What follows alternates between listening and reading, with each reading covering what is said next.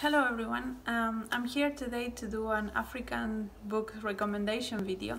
Um, so I love African literature, I think it's very um, magical and I like the whole cultural um, background of, of African books and know and learn about different cultures within Africa and the difference between the countries. I especially like um, the books that focus on people in Africa and more than like Africans that have gone out, but I have some of those too. Um, and yeah, I, I just thought that if you are unsure on where to start, um, I can give you some suggestions. This is by no means an exhaustive list. There are tons of great African books, um, but because this is a video, it has to be a certain watchable amount of minutes. So I'm just going to recommend some of my favorites that um, could be interesting for you. Um, if you have recommendations for me, I would love to know. Let me know in the comments below. Um, but yeah, without further ado, let's start with the recommendations because there are a lot of books to talk about. so the first book I wanted to talk about is an anthology. Um, and I think that if you are not sure where to start um, on a certain topic. An anthology is always a good way to get a taste of what you're going to get and choose maybe some author that you really like the story of. So I have here Africa 39 um, and this is a collection of 39 stories from different African writers from all over Africa, North Africa, Sub-Saharan Africa, Southern Africa, um, yeah, and and they give a, a, a quite um, an interesting uh, collection of perspectives and um, ways to write and I think that this is quite quite good to, to find authors that you might want to to read from. Um, there are not a ton of um, super famous authors here in the West, so again, it, it is it is a good way to get exposed to other authors that you might not be aware of. Um, the next one that I'm going to recommend is not going to be a surprise because it's one of my favorite books, if not my favorite books, and that's The Wizard of the Crow by Ngugi wa Thiong'o. Um, this is a Ken um, Kenyan author and it's written, writing um, a story of this imaginary country um, that looks a lot like like the, the Kenya when Moi was in power and if you are not um, in if you're not aware Moi was the second uh, Kenyan president, and he, I think he was in power for like 20 years, um, not always elected by the people. um, and yeah, it it is sort of magical realism in the sense that the author um, so basically follows this uh, um, this man that um, by chance is mistaken as um, a witch doctor or a wizard um, that can predict things. Uh, they think, um, and um, he's uh, basically wrapped into this this thing that he never wanted to be part of with the government, um, and the different ministers and the leader in the government do have these um, different diseases that are basically caused by their will to have more and more power. And it's very funny it's very satirical. And it's just um, a very smart way to give a representation of um, of these um, very greedy people that often that sometimes end up in power in um, and yeah i i really like this book. I i'm due for a reread and i, I think we all should read this. Maybe we should do a a read along let me know if you would be interested in a read along of this. Um, that would be great. Um, the next um, book I want to recommend I don't have a copy of because I read from the library and that's gonna be the case for quite a few of these um, but it's Freshwater by Akwaeke Emezi. Um, Akwaeke Emezi is a non-binary author from uh, Nigeria and the, in Freshwater they um, they explore um, this identity crisis of the of the main character uh, the main character has mental health. They um, they have issues with their uh, sexual identity as well. They they are not sure what they are doing in life, and um, Akwaeke Emezi is able to take all that and put it within the um, I think it's the Igbo uh, mythology, or I think it's Igbo, um, and it explains those those um, identity crises with different spirits that control the body of of this character throughout the novel, and we see the struggle of the different um, spirits within that person, um, and it is very interesting. I have heard that um, Pet is also very good. Um, I also want to read the the Death of Vivek Oji, basically all their books. But uh, yeah, I at the moment, unfortunately, I do not have access to all those books, so I'm uh, patiently awaiting until my library buys them. Um, but yeah, I, Freshwater I have read and I have loved, so I would recommend if you are interested, especially in a non-binary, uh, in a non-binary um, perspective from an African. Next book I'm going to recommend is a more fun one. I think it's also important to to have more fun, less heavy books um, in any of these kind of lists, um, and that is My Sister the Serial Killer by Oyinkan Braithwaite. Um, and this one is basically about these two sisters, um, one of which is like the hardworking one um, that's struggling through life, and the other one is this very beautiful woman that just breezes through life, um, but she has a problem that she seems to keep killing her boyfriend um, and then calling her sister to clean up the mess. Um, and it's about mainly focuses on the relationship of these two these two sisters uh, and how they um, interact with respect with uh, um, all the all the men around them. Um, and I think it's just a lot of fun. I read this in a day, uh, and I mean, it does have some uh, more heavy, interesting topics, but it's all done in a very lightweighted way that that just makes it easy to read, um, and it's just a delight. So if you want something fun and quick to read, I, I would recommend uh, My Sister the Serial Killer. Um, the next one, it's again not going to be a surprise if you have been here for a while, um, and it's the um, Nervous Condition Trilogy by Dangarembga. This is the second book, the Book of Not, um, the first one is nervous conditions, and the last one is um, this mournable body, which was shortlisted for the Booker Prize this year. And this trilogy basically follows Tambu, uh, Tambudzai, who is a young woman in Zimbabwe. And we see her um, growing up in this very divided country, um, and we see the um, independence war and we see the crash of the economy that Zimbabwe had and how all of these different things affect Tambudzai. Even though she is a very um, a very ambitious uh, young young woman, um, she still struggles to find her place on this um, society that has been spread to pieces um, due to the colonial past in in a big part. And i think it does reflect so well um, it like for me tambudzai it's the history of zimbabwe in a person um, and all their struggles and all their frustrations. And the end of the last book is amazing. I don't want to spoil it but it's amazing for me.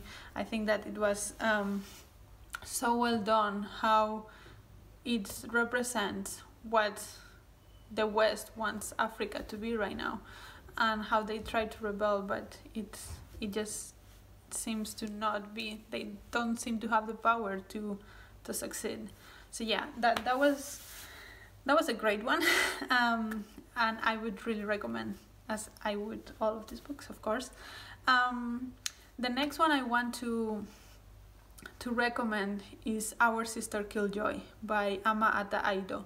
And um, this is a Ghanaian book um, that is basically about this um, this woman that moves. I believe it was the it was in, somewhere in Europe, and I think, and she moves to Europe to study, um, and it's basically about how she misses Ghana and she misses her family and how she struggles to find her place in this new society that is um, kind of very unwelcoming to her. Um, and yeah, I, I I really like this. It's a very short book and it's um, written almost in like a very poetic way. It has a rhythm to it. It's like a long poem. It's not actually a poem, but it does read with that kind of rhythm that just takes you through the story. Um, and yeah, I I had a copy of that, and I think I lent it to someone and then never came back. So I have to buy my own copy again because I love that book. Um, but I, yeah, if you have not read My Sister Killjoy, I would also recommend very very highly. Um, yeah, and the next one I'm I'm going to recommend is She Will Be King by Wayetu Moore. This book is set in Liberia, um, and Liberia has quite an interesting history. Um, and so basically, when the emancipation of slaves happened in the US, um, the US kind of decided that they didn't want the black people there anymore. So they took this territory in Africa and they started sending their former slaves to Africa, to this place in Liberia. Um, and it this book is set when that was happening and it shows uh, how the status of, of these African Americans that were coming to Liberia was different and how um, the people that were already living in these territories uh, were affected and how they reacted. Uh, and I think that's a very interesting uh, thing to explore that I, I had not um, seen explored before. So yeah, I would recommend that just for for the, that reason alone. um, but yeah, it's also a, a very good book, so I, I would recommend. And the last fiction I have to recommend is one that I have read, um, and I I did not remember a lot of, and then I saw this um, this um, interview uh, from Wode Maya, which is a big uh, YouTuber that uh, an African YouTuber that goes around Africa and finding like the positive stories of Africans that are succeeding and how he, he's trying to basically break that image that Africa is poor and needs help. Um, and he had an interview with um, Peter Lumumba, which is a professor in uh, in uh, Kenya in Nairobi University, I think and uh, Peter Lumumba was talking a lot about all his um, ideas. He he's um, I love I love his ideas. He he um, he thinks that Africa should take charge of themselves and redefine what um, Africa means and redefine what democracy means for them. Um, he has this idea that you know before the Europeans came, um, Africa was regulated by uh, chiefs, and the, these chiefs were democratically uh, elected, more or less, and these chiefs did discuss things and made coalitions to make bigger things happen. And Peter Lumumba uh, advocates for that to be um, to be brought back and redefine democracy that way. He also um, he also uh, advocates for one Africa with one currency and one um, no borders for Africans to move around. Um, and he has all these super interesting ideas. I will leave the interview below. But the point is that he did recommend The Beautiful Ones Are Not Yet Born by Kwame Armah. Um, and this book is, it has a very weird cover, but it's uh, basically about um, about those kind of topics about capitalism uh, in um, in Africa, about Africa, about capitalism, about corruption, about how Africa was affected by um, by colonialism in a negative way. So I I want to reread this. Um, there is a bookmark inside because my husband is also reading it. But uh, yeah, I would really recommend this. I mean, it's not who me who recommends it. It's Peter Lumumba, so you should you should um, read this, and you should also go um, check the the interview that Wode Maya had. So those were all my uh, fiction picks, but I also want to recommend you some non-fiction picks, um, and I have some here. Uh, so the first person I want to recommend is more like a person than a book itself. It's uh, Wangari Maathai, and uh, Wangari Maathai is a, a Kenyan woman, and she won the Nobel Peace Prize in 2004 because of her work with environmental causes. Um, she did study uh, biology in, in the US and then she came back to Kenya and started these um, projects in which she empowered women to um, to plant autochthonous trees from Kenya so that the land and the soil can be conserved. Um, and she she was all she was a feisty woman. She was uh, a fighter. Um, she tied herself to trees in Nairobi when the government wanted to take them down to build new malls and stuff. She did all those things, and but she also was a professor in biology, so she knew what she was talking about. She knew about what kind of trees to plant where and um, the importance of conserving the soil and all these things. And uh, yeah, she's just amazing. So this is her memoir. It's uh, uh, well, this is in Spanish, but um, in the English version is called Unbowed, and I would really recommend.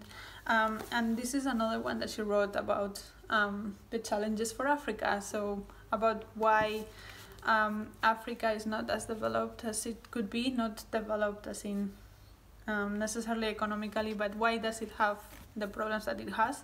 Um, and they're both very interesting, and I would recommend her. I think she's amazing. Um, and yeah, if you don't know about her, I think you should go and read more about her because she's amazing.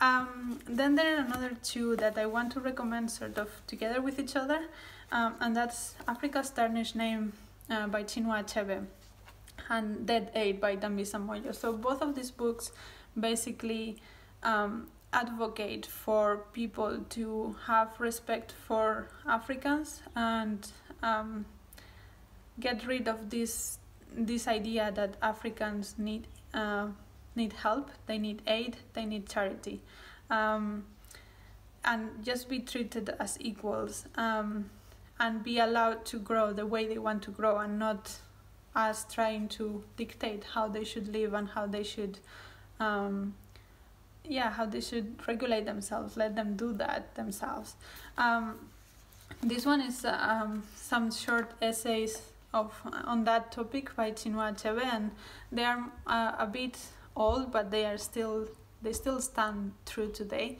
Um, and the way I wanted to pair this with Dead Aid is because Dead Aid goes into the deep conversation about the economics of what that means and uh, what charities do and the damage that they can do to countries um, and why they are not working. This one is a, it's a difficult to recommend because it's it's done from a very capitalist point of view. So basically, um, Dambisa Moyo is trying to recommend that we let the markets in Africa act the same way that we do in other countries instead of trying to regulate them so that through charity. Um, and though I do agree that we should not tell Africans what they should do with their economy and their money, I also do think that um, capitalism is a very, very dangerous um, idea.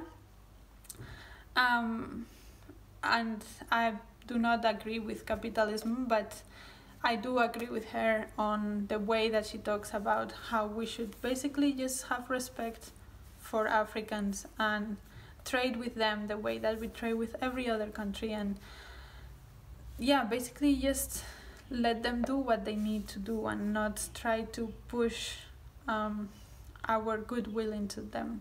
Um, and yeah, she also talks about how charities often are just huge businesses for the Western countries and how they do not go there to improve the conditions in Africa, but they actually make them worse in some ways. And one example that stuck with me is like there is all these charities that go to Africa with uh, mosquito nets and they distribute them freely there um, for people to have. Uh, but they are not realizing that they are destroying the mosquito net industry of those countries, and therefore there are a lot of people that will be out of their jobs because there is some white person that comes and just gives them to everybody for free and then how are you supposed to sell them if everyone else got them for free right? So think like that. Um, and yeah I, I think it is a very interesting idea to explore so i would recommend. Um, and then again if you are looking for something a little bit more light um, i think that born a crime by trevor noah is a great memoir um, he's obviously very funny uh, but he also has a lot of um, very interesting anecdotes and stories to tell um, i love trevor noah and I think he's a great person.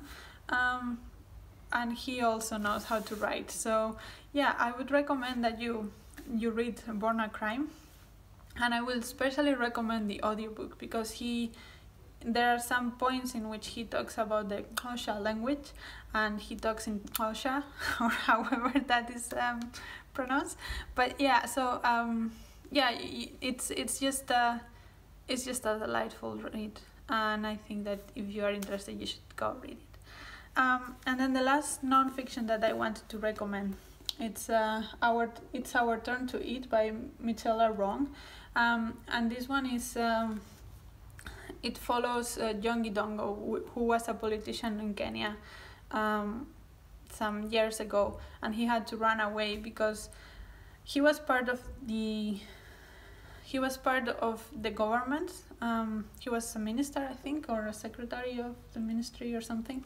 Um, and he saw all the corruption that was going on, um, and he wanted to denounce it. And everyone in the ministries um, told him not to, because then he will expose everybody. And basically, he, they were saying, "Is don't you want to also have a part? Like that's the the natural thing to do." and because he said no he had to go to exile so that he was he would not be killed and basically this book does show um, a lot of the mechanics of how corruption works in a government like this. Um, and yeah i think it's it's quite interesting. If you want if you're interested in understanding how corruption works i think this is a great one to pick up. Um, and then just to finish two books that I have not read yet that are on my TBR, um, physical TBR that I want to read from Africa are The Famished Road by Ben Okri and the uh, Granta magazine The View from Africa, which are different short stories uh, of different African writers. And again, as I said with uh, with Africa 31, I think that these are very good to to find new writers from a certain country or of a certain topic. Um, yeah. Uh, and then before i before i finish i just wanted to um, to shout out or like to share some african booktubers that i also love um, and if you have been in this channel for a while it will not not be a surprise um, that i recommend you a time to share books um, she's a south african booktuber and she's always the most thoughtful person when doing reviews. She mostly does reviews and they are amazing. But also, like recently, she did uh, this series of women writers that she loves, um, that she thinks are great, and uh, those kind of ideas. She's just amazing. She's just amazing. You should go check her out. Um, another one that I want to recommend. They haven't made videos for a while, but I still want to recommend because I'm hoping they come back. Um, it's a bookish pair and these are two women from Nigeria that just have conversations about books uh, on camera and they are delightful and I really like them. Um, so yeah, I hope they come back. Um, maybe we should all go there and try to push them to make videos again. And the last one I want to recommend is Lexa Reads. Uh, she's a Kenyan booktuber and she basically just um, yeah makes reviews, uh, vlogs, and um, I always love her blogs because they bring me back to to Kenya. Um, and she also um, is part of some great readathons uh, that uh, they organize together with some some people. So um, yeah, I would recommend you go check them out. Um, and yeah, that was all for me. Let me know your favorite African books. Um, we can share different recommendations. And um, yeah, until next video, bye.